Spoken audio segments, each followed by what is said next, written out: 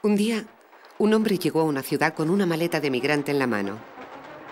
Fue hace tiempo, concretamente en 1925. La ciudad se llamaba París. Hacia este lugar convergían las vías de los trenes que venían del este. Berlín, Varsovia, Bucarest. Luego todos los trenes hacían una parada. Más allá estaba Rusia. Allí la separación de las vías era distinta.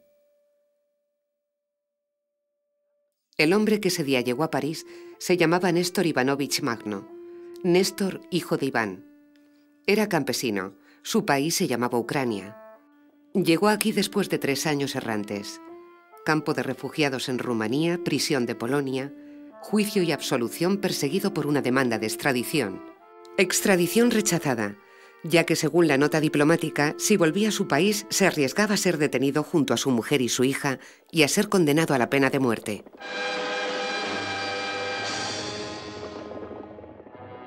El mensajero anarquista, número 1. Dirección postal Calle del Paraíso, 14 en Berlín, julio de 1923. Empezamos hoy la publicación de los recuerdos de Néstor Magno, un documento de interés excepcional para todos aquellos interesados por la personalidad del autor y el papel que su movimiento jugó en Ucrania en el contexto de la Revolución Rusa. Capítulo 1. Algunos episodios de mi vida antes de la Revolución del 17. Mi padre era un antiguo siervo que vivía a unas siete leguas de Gulépole.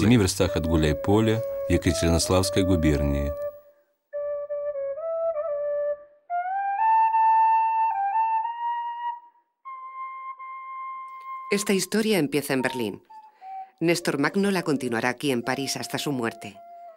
Durante nueve años de escritura nocturna, detrás de ventanas estrechas en habitaciones ocasionales, y se interrumpe entre las paredes del Hospital Tenón, cerca del cementerio de Père Lachaise. Esta es la historia del movimiento insurreccional campesino magnovista de Ucrania llamado Magnovichina, el cual durante cuatro años, desde la Revolución de febrero del 17 hasta el fin de la Guerra Civil en 1921, abarcó a más de dos millones de hombres y mujeres en un territorio grande como la mitad de Francia, entre el Don y el Dnieper, los dos ríos de la leyenda cosaca.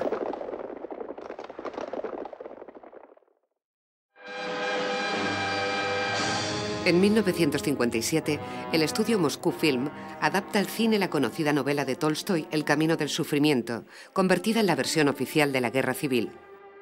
Tercer episodio, La mañana sombría. Estamos en Ucrania, 1918. La Revolución de Octubre apenas tiene un año. Es otoño. La Primera Guerra Mundial ya ha acabado, pero la amenaza de una guerra civil se extiende por todas partes. Es día de mercado en Gulépole, el bastión del líder campesino Néstor Magno. Батько Махно, атаман гулял и пил. Но только немногие догадывались, что он хитрит, тянет время. В эти дни ему надо было принимать большое решение. С трех сторон надвигались враги. Из Крыма и Кубани деникинцы, с севера большевики, с Днепра петлюровцы, только что занявшие Екатеринослав.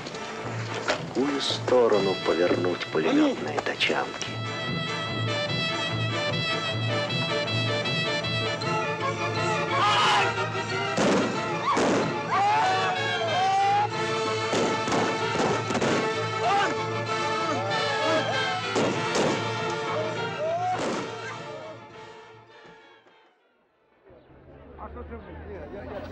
Medio siglo más tarde, un día en el mercado de Gulépole. О, ми знаємо те, що він за бідних, яка стояв горою. Поняли? А як щось те, він тікає, бо його ж б'ють. Гуляполе був як штаб республіки. Республіки. ну. Республіка була, да. Отак у залі покладуть, приколять штиками руки і ноги, заводять патіфон, той, що то з трубами були, грамофон, і танцюють. Наші діди і батьки Махно робив. Махно хороше. Не так, як тепер.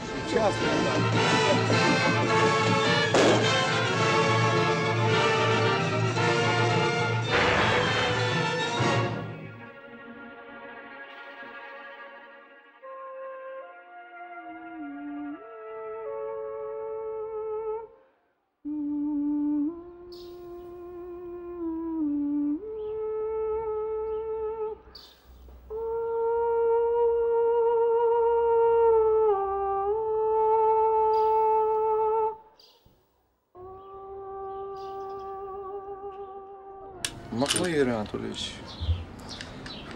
Що ще сказати?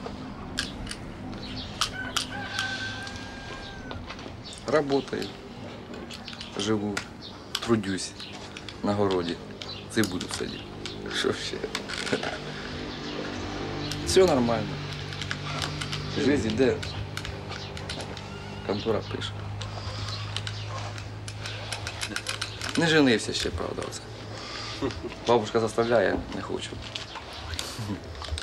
Так е, розказували мама, що ну, він не бандит був, такий, як його оце зробили. Намалювали. Бандит- Намалювали бандита.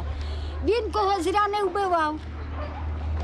Не той. Він перший у нас у Гуляйполі комуну організував. Оце. У багатих забирав корови, коні і туди в комуну. А бідні, в кого ж не було нічого, йшли туди, там жили. Ну, вона недовго комуна та просуществувала, понятно? Воно ж то революція така було. Вот на этом месте во время Великой Отечественной войны мама моя спрятала документы о Несторе Ивановиче Махно. И потом она мне после войны это все скрыла и передала. Cinco hermanos, todos maltratados por la historia. Los dos mayores, Carpa y Emilien, fusilados delante de su casa por llamarse Magno. Los dos pequeños, Saba y Grisa, muertos combatiendo junto a Néstor, el hermano mediano.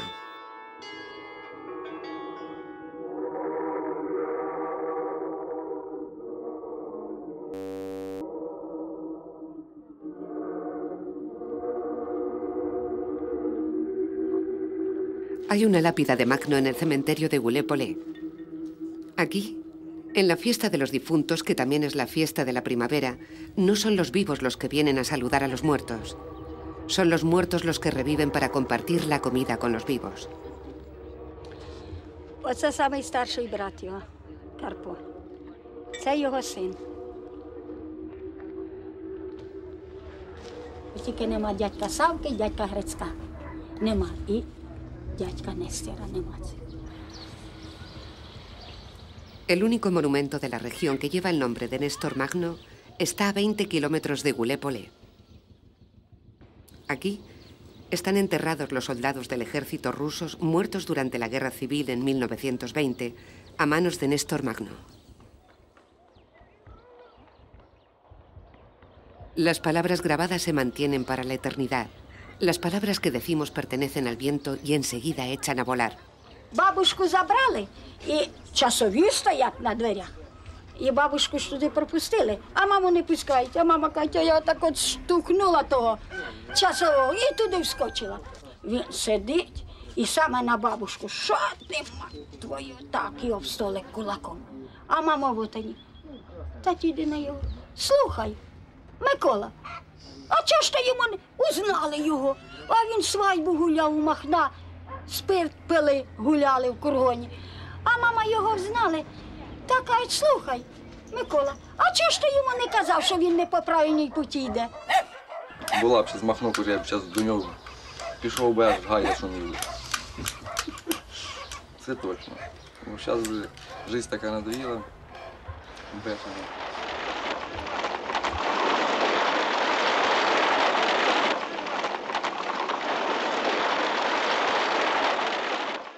В молодости после института работал тренером и сам тренировался, выступал. Я-то слышал о нем, мы все о нем слышали, вернее, и видели его по фильмам.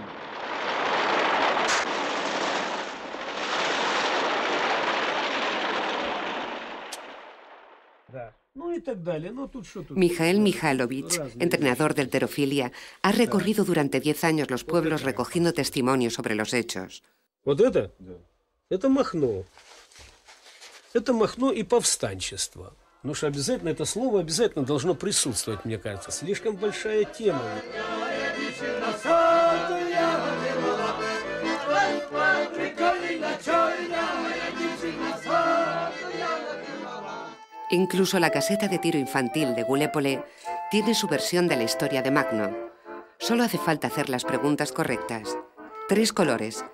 rojo, blanco y la diana negra.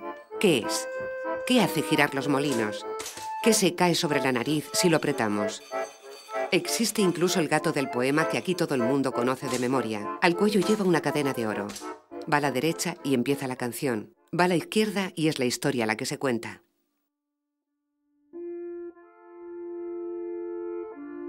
Al principio una palabra, la tierra, inmensa como el mundo, tan rica que los invasores se la llevan a manos llenas.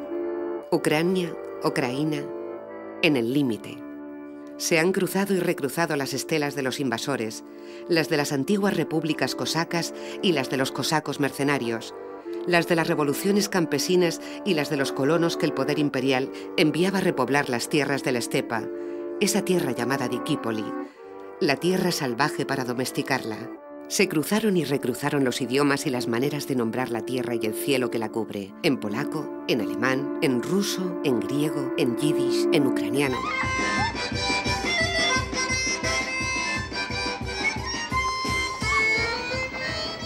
En el centro una aldea, Gulepolé, que quiere decir tierra libre, que se siembra y se trabaja, campo de ferias y de grandes mercados agrícolas, a principios de siglo, Gulépole tenía 16.250 habitantes, tres iglesias, una con tres campanarios, una sinagoga, cinco escuelas de agricultura, tres institutos, una escuela alemana, dos escuelas judías, una biblioteca, un teatro.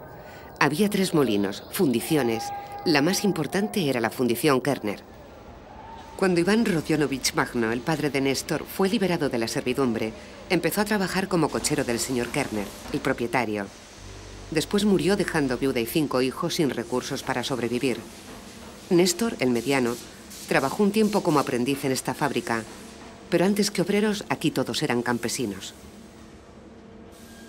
Y es también en esta fábrica, en la pausa de la comida durante la típica partida de dominó, cuando se empiezan a examinar los escritos de Néstor Magno que han llegado de París y que por primera vez llegan aquellos para los que habían sido escritos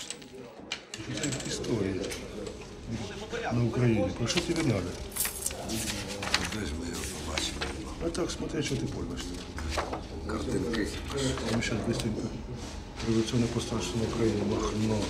Во-первых, я считаю необходимым предупредить читателя, что в этом очерке недостает ряда весьма важных характерных постановлений и воззваний Гуляйпольского крестьянского союза. Del Soviet de los Diputados Campesinos y Trabajadores, de su inspirador directo, el Grupo Anarquista Comunista, que se ha propuesto siempre, con una constancia admirable, organizar a los campesinos de esta región, explicándoles el sentido y el alcance de los acontecimientos que estaban ocurriendo, exponiéndoles los objetivos de los trabajadores en general y los de los anarquistas comunistas más cercanos a la mentalidad campesina en particular.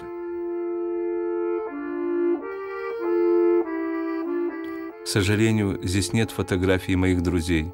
Desgraciadamente, no poseo fotografías de esos revolucionarios desconocidos, mis amigos campesinos surgidos de lo más profundo del pueblo ucraniano. Eran de verdadera naturaleza campesina, no sabían mentir ni engañar. Era difícil convencerlos, pero una vez que habían comprendido la idea y la habían asimilado siguiendo su propio razonamiento, defendían esa nueva idea en todas partes, en todas las ocasiones. Es triste que sus memorias no vean la luz en Ucrania. La culpa es de las circunstancias y yo no puedo hacer nada. Néstor Magno, París, 1926.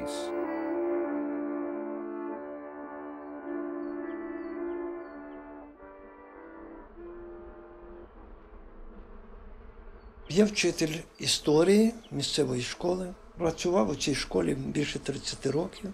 І скільки я й пам'ятаю, моєї роботи в школі я починав займався збором матеріалом за громадян, події громадянської війни, які відбувалися в нашому краї. А от в цій папці у мене самі цінні, самі цінний матеріал, який поміщений в цих документах, це, звичайно, та програма, програма анархістського руху. І вона, по суті, справа на сьогоднішній день перед нами постає не такою, яку ми нам преподносили, а яка вона була в дійсності. Estamos a principios de siglo, de nuevo en la fábrica Kerner.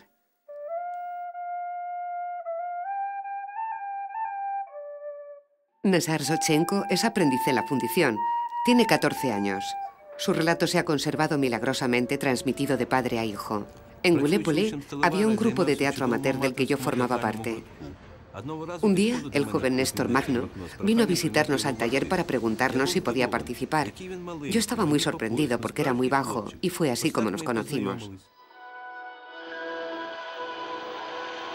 La fábrica para los obreros, la tierra para los campesinos. La tierra para los campesinos es una formulación moderna. Hay otra más antigua nacida en el siglo pasado del sufrimiento horroroso de los siervos. Tierra y... ¿Y qué? ¿Cómo traducir la palabra que utilizaban? Volia, que en ruso quiere decir al mismo tiempo libertad y voluntad, espacio sin límites. Вот сейчас я вам прочитаю архивные материалы о революционных событиях в наших краях за 905 год. Имею честь доложить вашему превосходительству, что и по дополнительным сведениям, оставленным мне в имении штаб-ротмистера Мазаракия, продолжается самовольное расхищение хлеба, кормов, зерна не только местными крестьянами, но и крестьянами соседних деревень. En Gulépole se forma la Unión de Trabajadores Pobres alrededor de un campesino de padres checos. Valdemar Antoine había vivido un tiempo en la ciudad y se había unido al grupo de anarquistas. Es la revolución. Nassar el aprendiz, con todo el grupo de teatro de la fábrica, se une a la revolución y también Néstor Magno. Tenía 16 años. Zaratustra, так все называли Антони, приносил нам книги. Zaratrusta. Así llamábamos a Antoine, que nos traía víveres y también armas para la lucha revolucionaria. Casi todas las tardes, nosotros, los campesinos, que teníamos muy pocos conocimientos, nos reuníamos en un prado alrededor de los libros. Eran para mí tardes de luz y de alegría. Leíamos todo, desde Proudhon, Bakunin, Kropotkin, la historia de la cultura y sobre todo nos apasionaba la astronomía, los planetas, las estrellas y la historia de la aparición del hombre sobre la Tierra. Como reacción, los propietarios crearon la Asociación de Verdaderos Rusos. Entre los obreros encontraron verdaderos siervos. Su eslogan era simple, mata a un judío, salva a Rusia, y organizaban el programa.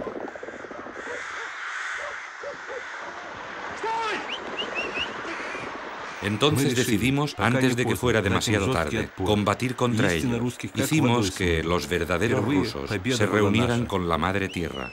Esa fue nuestra primera victoria. Primero de mayo de 1907, día de manifestación prohibida Gulépole. Todos aquí son buscados por la policía. Es la primera foto del recuerdo.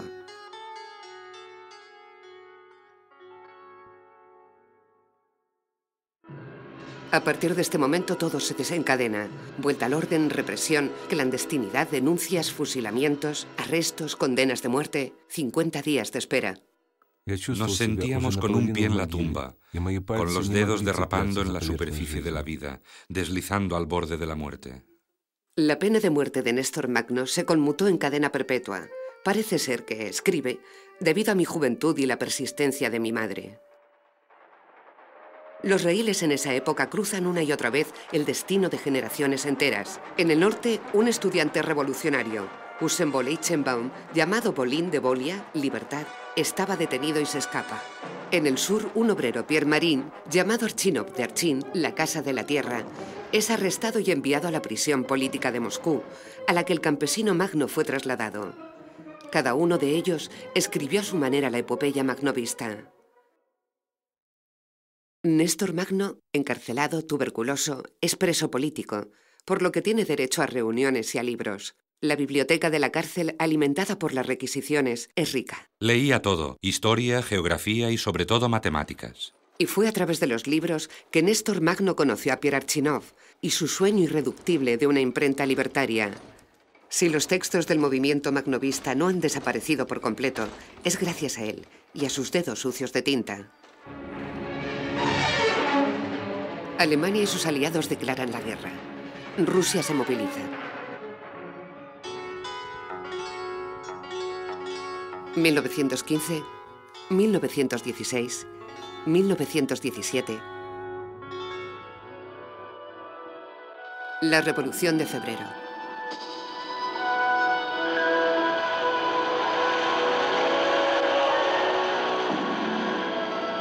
El zar abdica. Las prisiones se abren y a veces arden.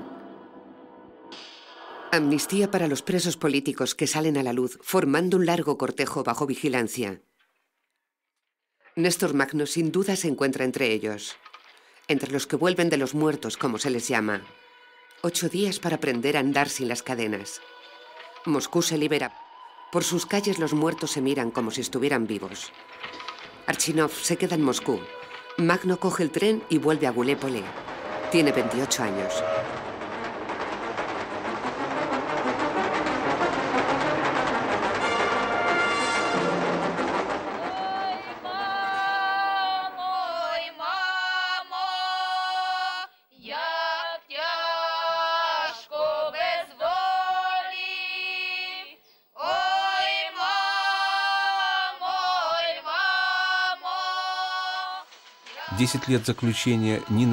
Diez años de detención no habían reducido en nada mi fe en un trabajo libre, basado en la igualdad y la solidaridad.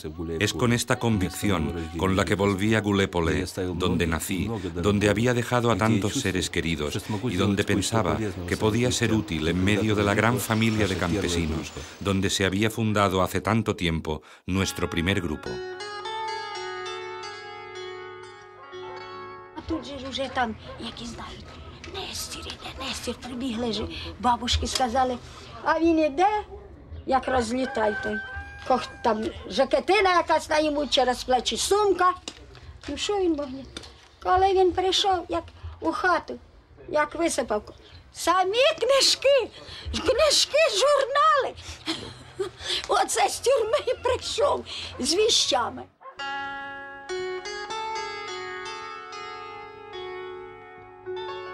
Все вот эти, так сказать, исходящие из Петрограда декреты, постановления, они все опаздывали. Они очень сильно опаздывали, понимаете? И потом э, смена власти повлекла за собой безвластие. И людям трудно было вот этот призыв самодеятельности, это, это сложная штука. Одно угнетало – Estaba muy preocupado por la ausencia de conocimientos teóricos ante los inmensos problemas que me formulaba la revolución. Sabía que este era el caso de nueve de cada diez en el medio en el que me hallaba. Vivíamos unos hechos de una importancia excepcional. Estaba convencido que debíamos trabajar no solo para elevar nuestro propio ideal, sino sobre todo para no impedir el desarrollo de los demás. Y en eso nosotros, el grupo anarquista comunista de Goulet-Polé, estábamos solos. Нам по, по нашим идеологии анархист-коммунист это, допустим, несовместимо. Почему? Это Нет, ну, допустим, по нашей а, да, бывшей да, коммунистической да, идеологии это несовместимо. Разбили, раздробили да. по Вот полочкам. анархисты, вот коммунист. А вот именно этот симбиоз, анархист-коммунист, это своя теория. A principios del año 17, en las aldeas y los pueblos no había prácticamente ningún representante del partido, ningún bolchevique o tal vez alguno de paso. Había grupos socialistas revolucionarios en las ciudades. Este aislamiento y la determinación de unos pocos sería la característica que condicionó el desarrollo de lo que sucedió durante los nueve meses que separan febrero, con la desaparición del antiguo poder de octubre, la instauración de un nuevo poder que habla en nombre de la revolución. Primavera de la historia. Primavera de Ucrania. La primera para Néstor Magno tras una interminable temporada pasada en el fondo de un agujero.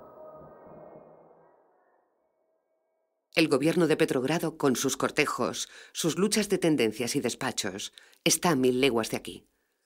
Pero todavía nadie se acuerda de los hombres, de unir en la realidad y en una misma frase las palabras revolución, obrero, campesino y el viejo término soviet que quiere decir consejo.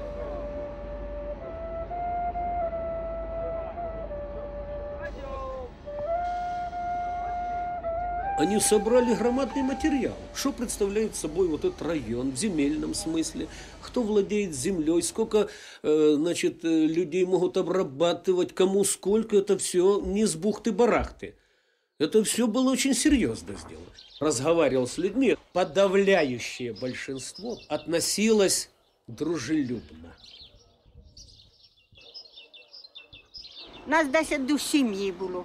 Усі свій коваль, свій портний, свій плотник, свій вкривальщик, усі таке, що і ткач, і все, все ми робили. Це село було панське, у нас пан Ага. Явецький, а він сам поляк. І наша, оце, моя прабаба виміняна за собак, за хортицю. От сюди. А оце село вільне було по той бік річки. Уже як відсіля туди вони втечуть, вже це не ім'є права зайняти. У нас був оце брат мій старший, ну його немає, його репресували. Тоді те, зять один, зять другий у Махна був. А за що його репресували? За те, що був Махна. Лишенькаря парилу. Ото хорошо. Лишенькаря 1 мая 1917 Primero de года. mayo de Ровно 10 лет, как я в 1917. последний раз Hace 10 años que no he participado en esta fiesta obrera y me preparo con alegría. Por la noche duermo sobre una tabla y durante el día corro de la fábrica a las asambleas en los pueblos. Asisto a reuniones con profesores y con los delegados que nos envían los compañeros para informarse. Tras unas semanas de actividad desbordante, se organizaron unas elecciones para el comité de la ciudad. Era necesario controlarlas. Se creó la Unión de Campesinos y en la fábrica Kerner la Unión de Obreros de la Metalurgia, de la que Magno fue elegido presidente. Durante los turnos de palabra se discutía sobre lo que era una cooperativa, una comuna, una unión, un delegado, el papel de los soviets, órganos de poder u órganos de unión. ¿Es necesario ocupar la tierra? ¿Qué quiere decir ocupar la tierra?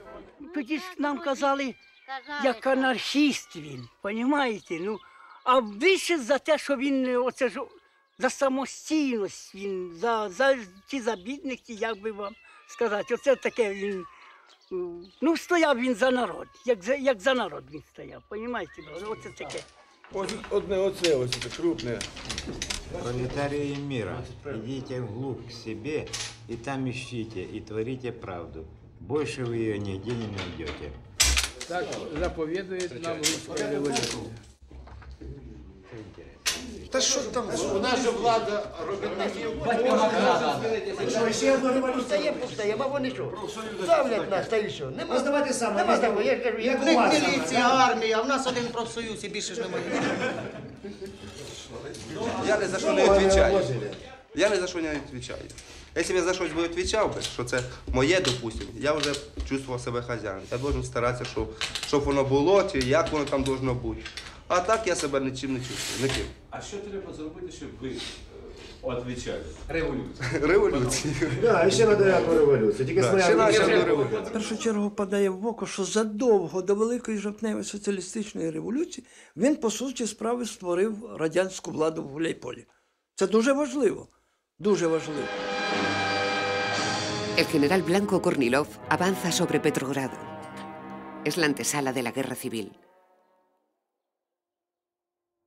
было утро 29 августа. Era el 29 de agosto когда por во la время mañana. митинга на Гуляйпольской Había mitin en la площади plaza президент central de принес телеграмму Gulepolé из Петрограда. cuando el cartero trajo Над noticias del революцией peligro que нависла acechaba la смертельная revolución.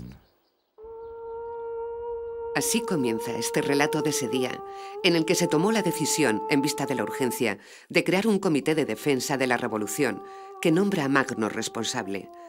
Después, tras una noche de reflexión, se decide desarmar a los propietarios, la abolición de los privilegios y aplicar el primer decreto sobre la tierra, tal y como se discutió durante meses en aldeas y talleres. Это первая акция, первая в Российской империи. Это надо знать, это надо отметить. История должна это знать. И он здесь, правда, я повторяю, вот по самодеятельному. Он собрал тут все эти документы на владение землей, экономикой, экономией помещиков там и так далее. Все это сжег. То есть придал анафеме бывшее и начал создавать новое.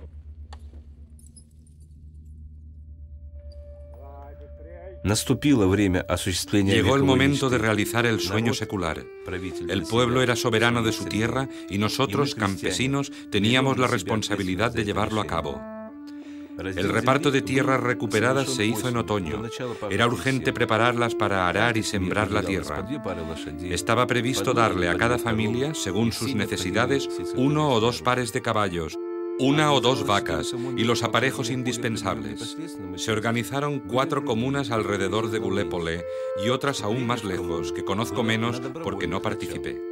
La participación en las comunas era voluntaria. Los campesinos que decidían ser comuneros se agrupaban por familias o por afinidades. Había algunos campesinos anarquistas, pero la mayoría no lo eran. Hubo muchas discusiones sobre la elección de las semillas. También se debatió la cuestión de la enseñanza.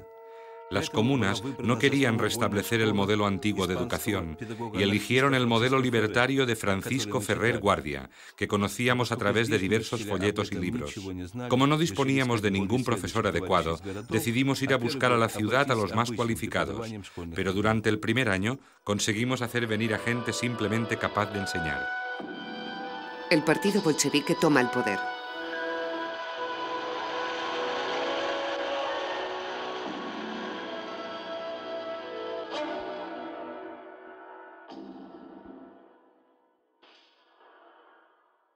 Proletarios del mundo, uníos. Precio 15 copex. Lunes, edición de la tarde. 12 de noviembre, 1917. Número especial. Decreto de la Tierra, promulgado en la reunión del Soviet de Diputados, Obreros y Soldados del 26 de octubre a las 2 de la mañana. Primer punto. La propiedad privada de la tierra queda abolida, sin contrapartidas financieras. Ну, іменно ж це ми знаходимо і в програмі Махно. А в чому різниця? А в чому, чому різниця? Ви розумієте, що? Що, можливо, різними методами вони здійснювали це. Ведь е, Махно ж виступав проти всякого керівництва і проти всякого насильства. Ну а тут, по суті справи, нам насаджували це. Хто б брав? Ну, тепер, якщо по цим виходить із сучасних матеріалів, які ми отримуємо, б- анархісти були праві.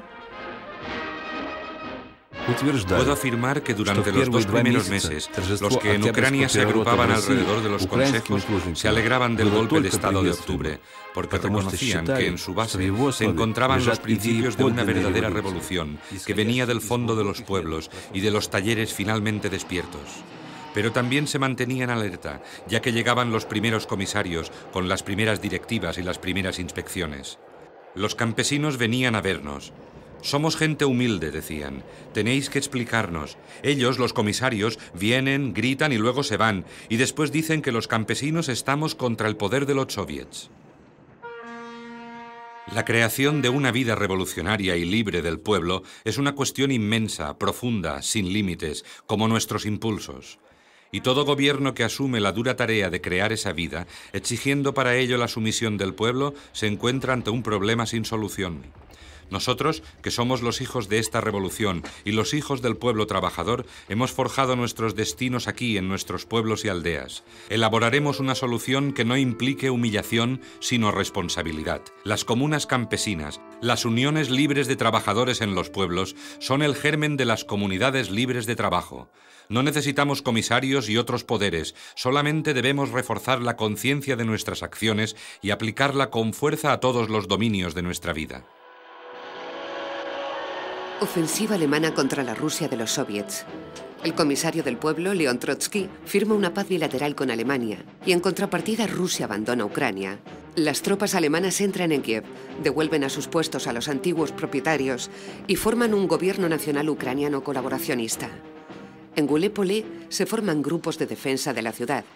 Néstor Magno se va en busca de las tropas bolcheviques que están todavía en Ucrania. En abril, Gulépole es ocupada.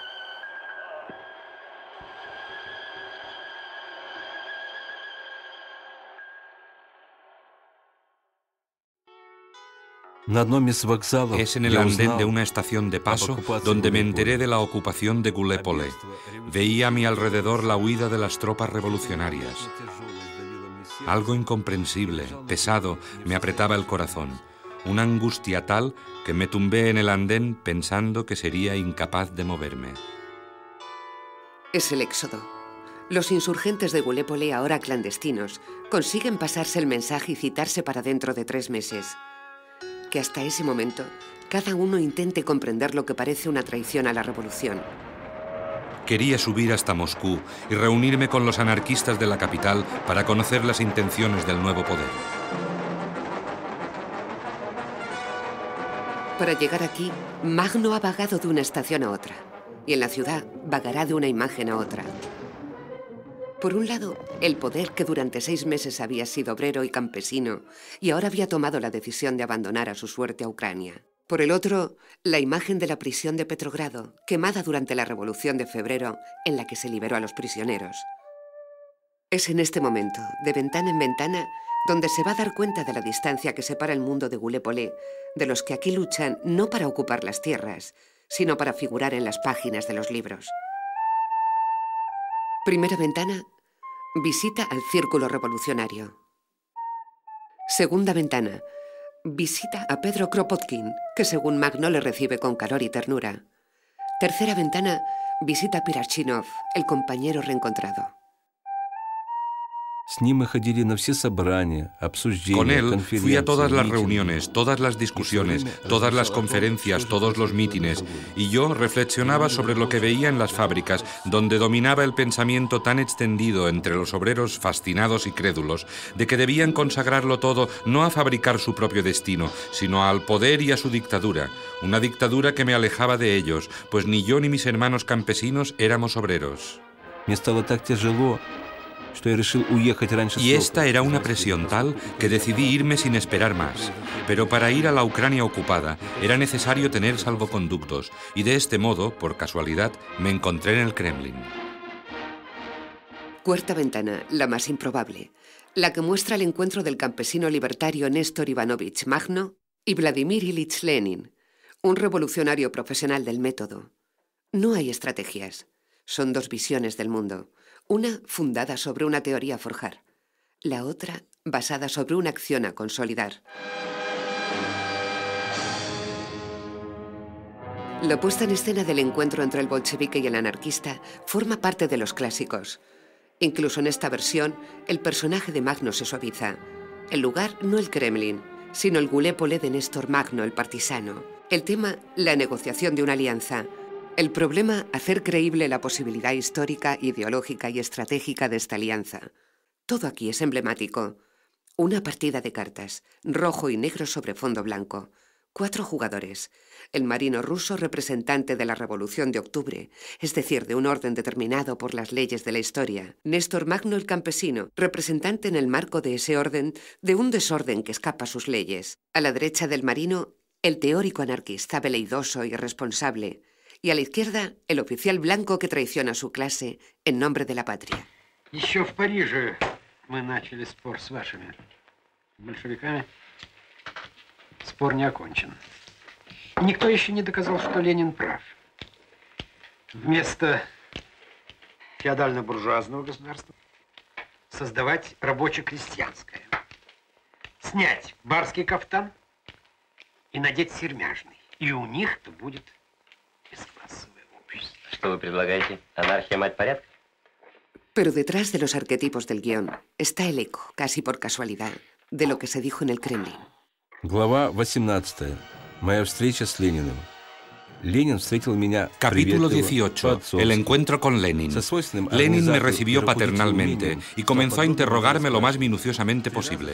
La pregunta de cómo los campesinos habían recibido la consigna todo el poder a los soviets me la hizo tres veces.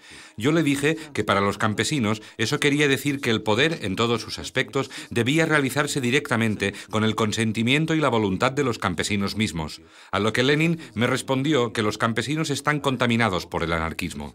Y le respondí, ¿y eso es malo? Entonces Lenin puso sobre la mesa el tema del ejército rojo, de su lucha heroica contra el invasor, de la falta de apoyo de los campesinos. Me temo, camarada Lenin, que está usted mal informado, le respondí. Sus tropas se mantienen alejadas de los caminos y no combaten en el campo. ¿Cómo quiere usted que los campesinos les apoyen? No los ven jamás. Lenin se echó a reír. Vosotros, los anarquistas, pensáis y escribís sobre el futuro, no sois capaces de pensar en el presente. Yo le respondí que era un campesino iletrado, que me era difícil discutir un punto tan importante, pero le puedo decir, camarada Lenin, que en Ucrania, en la Rusia del Sur, como le llaman ustedes los bolcheviques, estamos sumergidos en el presente y es a través de él que buscamos acercarnos al futuro, en el que efectivamente pensamos y pensamos muy seriamente. Ya no soportaba Moscú, donde moría la revolución en el torbellino de la política del poder. Moscú, la perdida, que mantenía a centenares de ociosos de la causa, los del partido vencedor y los otros, que se perdían buscando en la anarquía una especie de perfección que no pertenecía a la vida.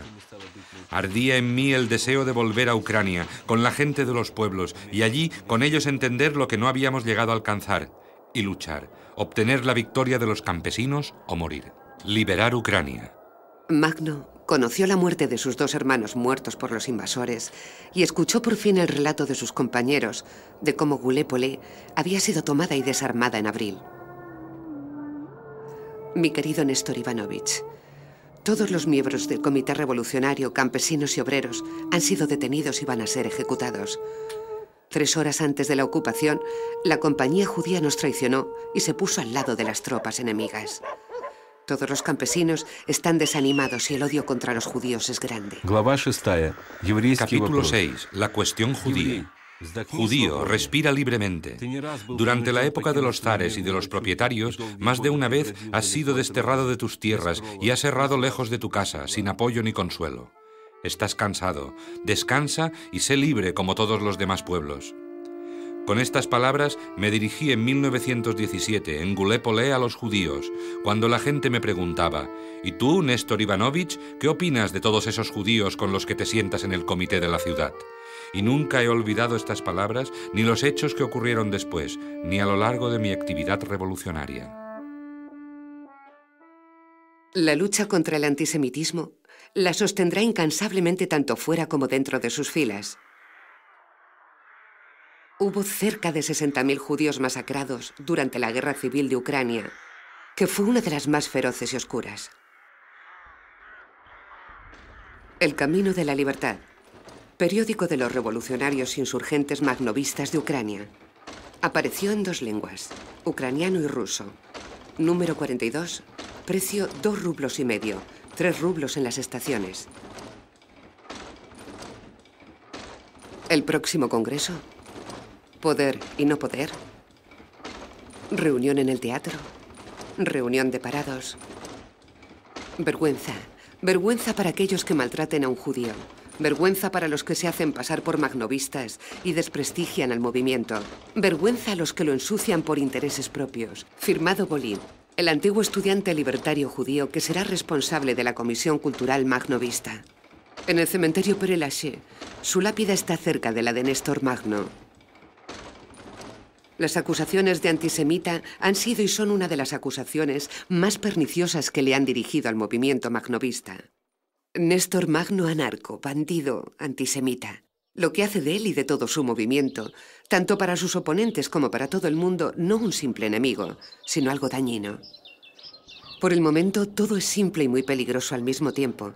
El invasor imprime sus propios billetes de banco en un idioma que es, en la mayoría de los casos, el mismo que el de los propietarios que vienen, matan, queman, roban. Hay que liberar Ucrania. Se forman los primeros grupos de resistencia sin conexiones entre unos y otros. Cada uno realiza sus propias acciones y en su propio terreno.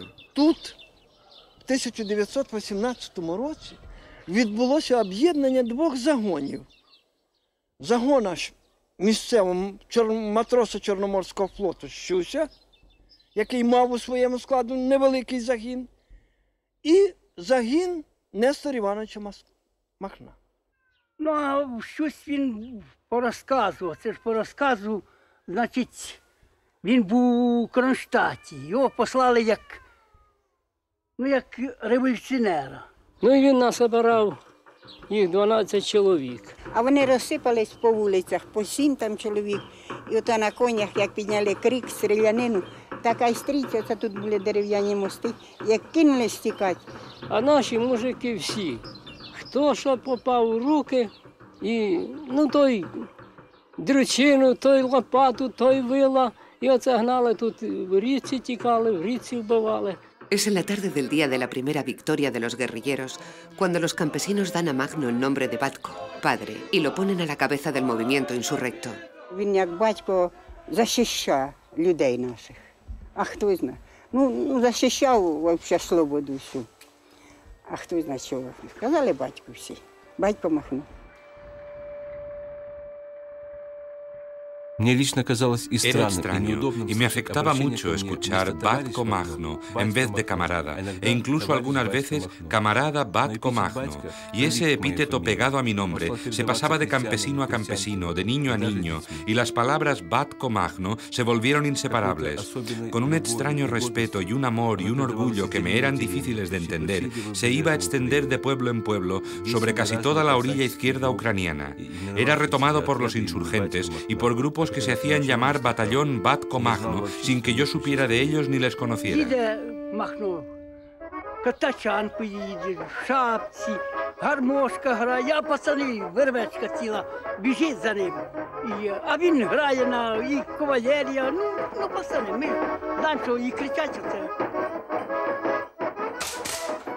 Para María, la hija del granjero, ¿quién está debajo del velo? Magno está en el mercado. ¿Dónde está?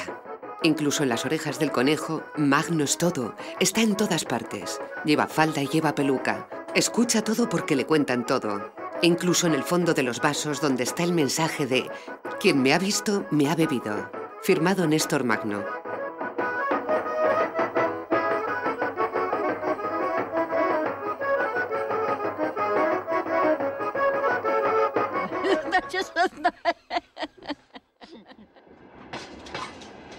Los grupos guerrilleros fluyen hacia Gulépole. Uno de los más importantes que viene del sur es del trabajador del ferrocarril Víctor Velash. Víctor Velash, que al lado de Néstor Magno tendrá la responsabilidad de organizar este variado ejército y de preservar los principios fundadores. Autodisciplina, voluntariado y elección de los responsables. Es la segunda foto del recuerdo, la de la puesta en escena de una historia en la que cada uno puede llegar a ser lo que ha elegido ser.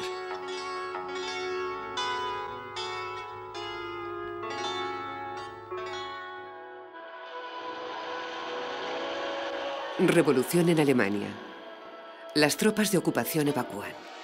Al oeste se forma un nuevo poder nacional. En el este, el ejército blanco avanza. En el norte, las tropas bolcheviques se agrupan. Toda Ucrania forma un nudo inquieto que se tambalea. Ha llegado un tiempo salvaje y loco. En la caseta de tiro de Gulépole se han contado historias. Había tres hijos, el más rico, el más listo, el más trabajador. Había tres caminos.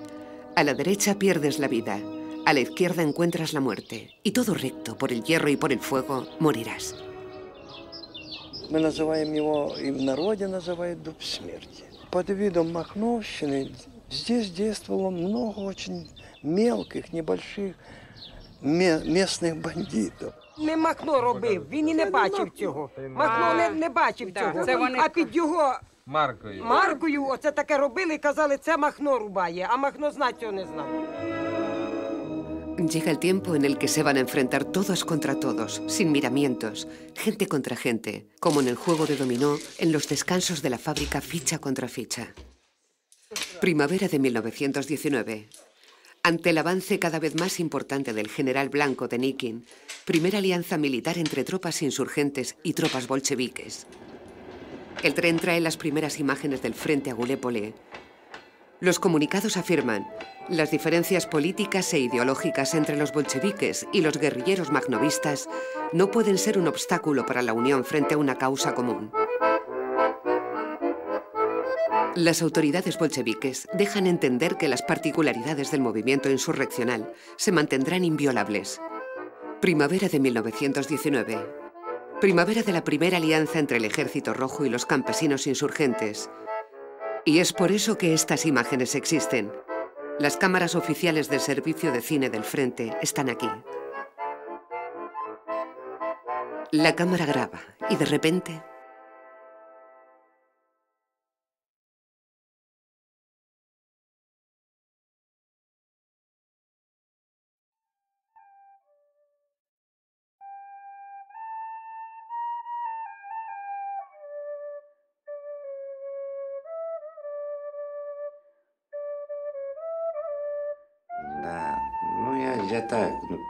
пролетарии мира, да, э, идите вглубь э, своей души, и только, и, и только там вы можете найти правду. Ну, примерно, ну там надо... Это... А сегодня для вас эти, эти слова эти имеют какой-то смысл? Они не только сегодня, а і раніше вони імели для мене цей смисл. Тільки ну, я не знав, що, що це мог сказати Нестор Іванович. А в душі воно у кожного у нас є. У кожного. А що це ви тут робите, хлопці? Готуємося. Готуємося до 1 мая. Prepararse para el primero de mayo. Este año significa para algunos que el Coljos les preste una tachanca y caballos. Para hacer desfilar en Gulépole las palabras de Néstor Magnos leídas en los libros. Андрій Миколаївич, представтесь, хто ви, звідки ви? Гуляйко. Як ви звуть? Бондаренко Андрей Миколаївич, 26-го года рождения. Сам місний Гуляйполе. І батьки тут жили самим Гуляйполе. І ми проживаємо. Так, зараз ще хвости помию, хорошо. Bondarenko. De la primera foto del recuerdo, tomada el primero de noviembre de 1907. Fue fusilado. El Coljós en Golípoli. De la primera foto del recuerdo a la última. La del Estado Mayor del Ejército Insurreccional Magnovista Obrero y Campesino durante la Guerra Civil. Здесь я отыскал фотографию штаб батьки Махна. Сидит Нестер, жена его Галина Андреевна, начальник штаба Виктор Белаш, его брат Савелий Махно, Григорий Махно.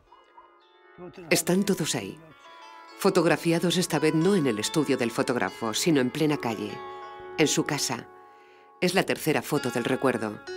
La de una historia.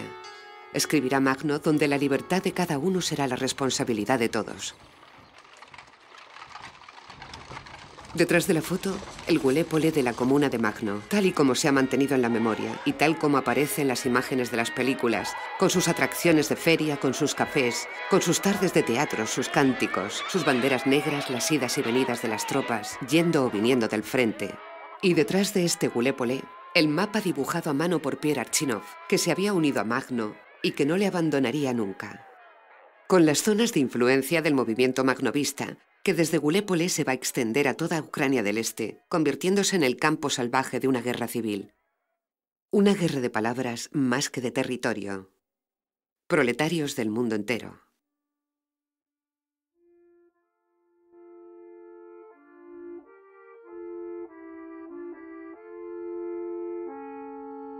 Febrero de 1919.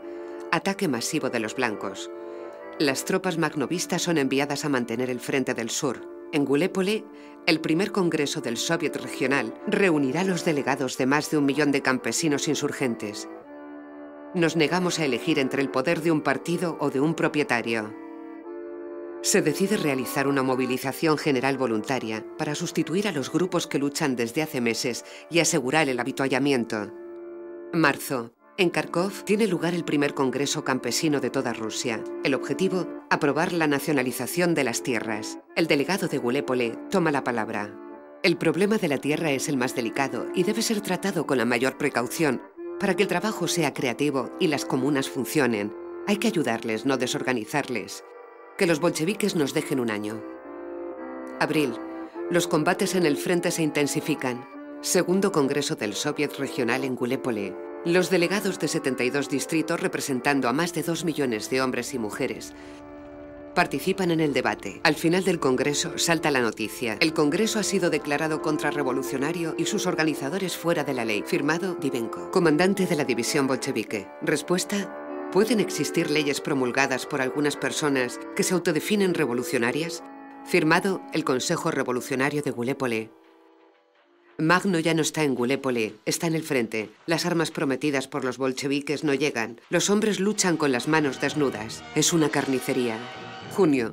Vista la urgencia, el Consejo Revolucionario de Gallipoli convoca un tercer congreso llamando a los delegados campesinos, obreros, insurrectos y soldados rojos. Aparece en el periódico oficial Izvestia un artículo titulado La Magnovichina, firmado por el presidente del Consejo Militar de la República, León Trotsky. La terminación china en ruso es peyorativa. Por primera vez, el movimiento magnovista es calificado de panda de bandidos, asesinos, saqueadores, pequeños propietarios y contrarrevolucionarios.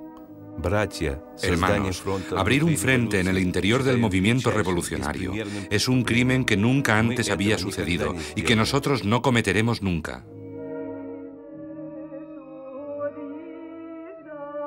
Llega de Moscú la Orden 1824. Si en abril, bajo la Orden, abajo la Magnovichina, queríamos una guerra de ideas contra los anarquistas, ahora decimos abajo la Magnovichina, aunque para combatirla haya que utilizar el hierro y el fuego. Porque de hecho, el objetivo de la ametralladora no es tanto un enemigo común como un signo tipográfico, el más ligero, el más desvalido, el guion medio. Es anarquista guion comunista. Es en el nombre de este guion que va a galopar la caballería magnovista durante dos años, inalcanzable por toda la extensión del mapa de Archinov, por donde a menudo oscilará el curso de la historia. A la cabeza de este ejército, que pasa de la azada y el carro al fusil, el campesino Néstor Magno, cuyas hazañas rompieron todas las estrategias y todas las previsiones y dieron paso a una epopeya. En tres ocasiones, frente a un enemigo común, los rojos propusieron una alianza, y en tres ocasiones, una vez vencido el enemigo, la romperán. Alianza imposible y al mismo tiempo inevitable, ya que para el movimiento obrero y campesino magnovista, ninguna otra alianza es históricamente posible. La última alianza se termina aquí, en Ucrania, la caballería negra y roja rechazan juntos a las tropas blancas. Ya no hay enemigo exterior. La guerra civil ha finalizado. Al día siguiente, la caballería roja ataca por detrás a la caballería magnovista y fusila a los delegados que habían ido a discutir una posible federación. Febrero del 21. En el norte, la comuna de soviets libres de Kronstadt es masacrada. Lenin instaura una nueva política económica. La nacionalización de las tierras se suspende y los pueblos decepcionados se alejan. Durante 13 años he luchado por una revolución social y continuaré haciéndolo. Habéis elegido creer al vencedor, es vuestro derecho. Lleno de heridas, cruza la frontera y finalmente llega a París. Le quedan 13 años de vida.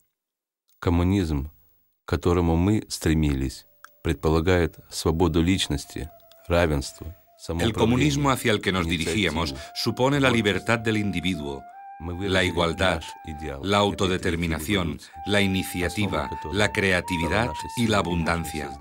Hemos formulado nuestro ideal de esta tercera revolución, basada sobre la toma de conciencia del pueblo humillado. Hemos tenido la ocasión de crear las bases de una sociedad fundada en los principios anarquistas, pero lo que teníamos delante de nosotros no nos ha dejado ni el tiempo ni el espacio. Hemos transformado la lucha de ideas en guerra entre los hombres. El ejército magnovista no es un ejército anarquista. El ideal de vida anarquista no puede ser defendido por un ejército, sea cual sea. En lo que se refiere a la construcción de la conciencia y de la creatividad, el ejército es impotente y nefasto. Pero cada magnovista es un posible anarquista. Cuando la guerra finalice y vuelva a su casa, será un constructor de futuro. Gracias a todos. Спасибо всем.